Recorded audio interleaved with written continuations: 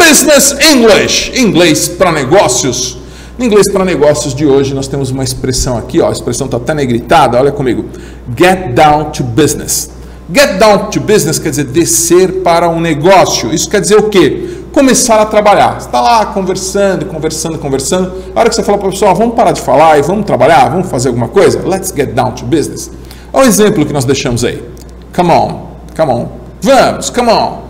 Let's get down to business. Vamos começar a trabalhar ou vamos direto ao negócio? Vamos falar do negócio? Essa é a ideia de let's get down to business. Participe do nosso curso 100% gratuito.